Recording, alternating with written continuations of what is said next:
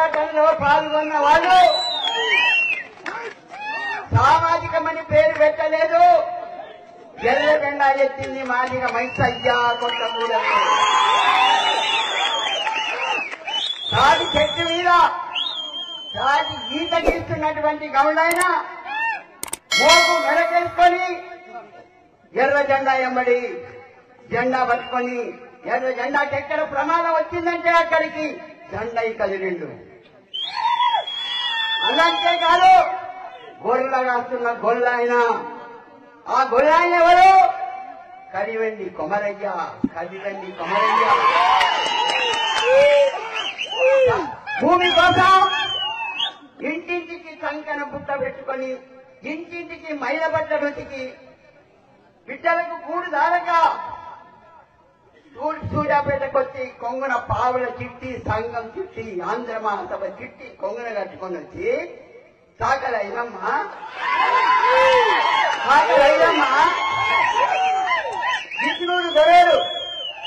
మరో దొరలో పొలం చేస్తుంటే ఆ దొరను కూడా బెదిరించి ఆ దొరను కూడా బెదిరించి సాకలి అయినామని బెదిరించి పొలం వదిలిపెట్టమంటే సూర్యాపేటకు వచ్చింది ఒక ఆడ మనిషి. మీకు సెలవు రావాలని చెప్తున్నా. ఎందుకు మీరు మోసపోయిండ్రు? నేను అడుగుతా. ఎందుకు మోసపోయిండ్రు? వీళ్ళ తెలంగాణ పోరాటం చేసి మీ తాతలు మీ తండ్రులు ఈ నేల మీద రక్తం దారబోస్తే నాలుగు వేల మంది చనిపోయిండ్రు. నేను ఒక్కదాన్ని పట్టుకున్నా ఎందుకు నన్ను మాట నేను ఆ నాలుగు వేల వీరుల తరపు నుంచి మిమ్మల్ని అడుగుతున్నా. ఎందుకు మోసపోయిండ్రు ఆ కేసీఆర్ చేసిన ఉద్యమం. ఎందుకు మోసపోయిండ్రు ఈ దేశంలోనే భూస్వాములకు వ్యతిరేకంగా పెద్ద పెద్ద గడీలకు వ్యతిరేకంగా కళ్ళేర దొరలను పీకి పెడితే జాడ లేకుండా పోయిండ్రు విష్ణుడు దొరలను చదివితే జాడ లేకుండా పోయిండ్రు ఆ దాఖలు అయ్యమ్మా విష్ణుడు దొరలు పిలిచి చెట్టు కట్టి నిన్ను కాలుస్తాను తుపాకీ దిగితే ఒరేయ్ దొర కాలుస్తే నన్ను ఒక్కడిని కాలుస్తావు. ఎర్ర జెండా ఉంది ఆ జెండా దండుంది. నీకు దక్కనియాను నీకు దక్కనియాను ఆ కొడుకులు నలుగురు నీకొక్కరే కొడుకున్నాడు. ఆ బాబు సాహెబు నీకొక్కరే కొడుకున్నాడు. ఆ కొడుకును ఎంటబడి ఎంటబడి తరిమి చంపితే నీ గడిల గట్టి మరుస్తుందిరా స్థాపించింది. గట్టి మనుషులు ఏమీ ఆ చరిత్రను మర్చిపోయిందా ఈ తాతలు మీకు తప్పలేదా ఎందుకు మోసపోయిందో ఆ మొదనష్టపు బోళ్ళ గుడి ఏందనో వాడిని తిట్టడానికి కూడా మాట దొరకటం అది చెప్పిన వాళ్ళకు అది బెల్లం పెడతాం. ఇంకేందో బంగారు తెలంగాణ చేస్తామంటే ఎందుకు బంగారం నూరుగా తాగరా? నూరుక తాగరా ఈ బిడ్డలు మూడు తరాల పిల్లలు ఎదిగి ఇంత అంతో ఎర్రజెండా పుణ్యాన ఆ చదువుకునే అవకాశం దొరికి ఉస్మానియా యూనివర్సిటీకి పోతే మన బిడ్డలు మీ బిడ్డలు అక్కడ చదువుకుంటున్న పొరగాను కంట నీరు పెడుతున్నారు. ఆ కూడా చెప్పుకుంటా. ఏం మీకు తెలవదా వాళ్ళ కష్టాలు?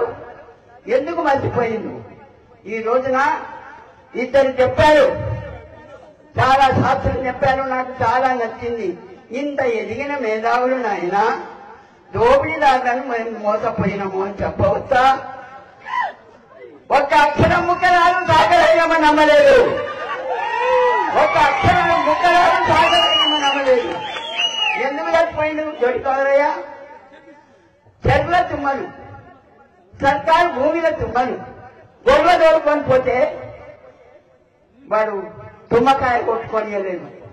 చెరువు ఎండిపోయినాక తుమ్మకాయ కొట్టుకొనియలేదు. బొమ్మ కొట్టనియలేదు. కొట్టకపోతే ఎవడి దొర ఏం సంగతి అని చెప్తారు. అంతేకాదు ఆ విష్ణుడు దొరైన పచ్చి బాలంతలను తీసుకుపోయి నాగాల నాగాల మీద పొలంలో పెట్టి నా చేయిస్తా ఉంటే నాగళ్ళ మీద యాభై నాగళ్ళు నాగళ్ళ మీద మొగోళ్ళు తీతాడుతాం అన్ని కూడా ఉన్నాయండ మాదిగా ఆయన ఉన్నాడు మంగళ ఆయన ఉన్నాడు సాగర ఆయన ఉన్నాడు అన్ని కులాలు.